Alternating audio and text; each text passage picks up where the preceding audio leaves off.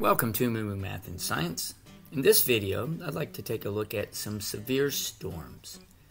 Severe storms can take several different forms. It can be a tornado, a hurricane, or a thunderstorm that produces hail. The Earth is surrounded by an atmosphere. The lowest portion of this atmosphere is called the troposphere.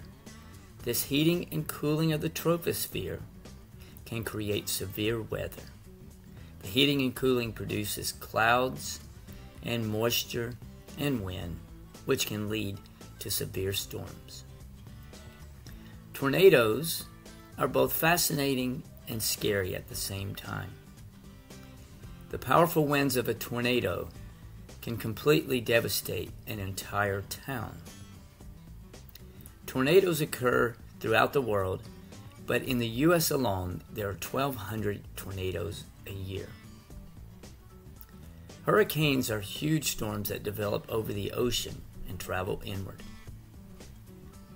The eye of the hurricane is where powerful winds are found.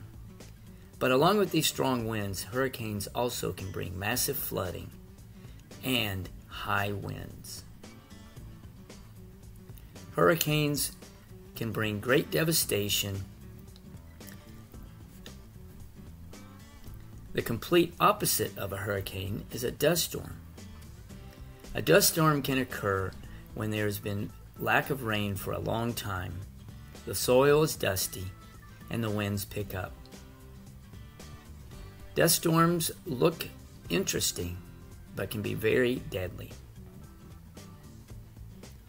And finally, you have the old fashioned thunderstorm. Cumulonimbus clouds can lead to lightning,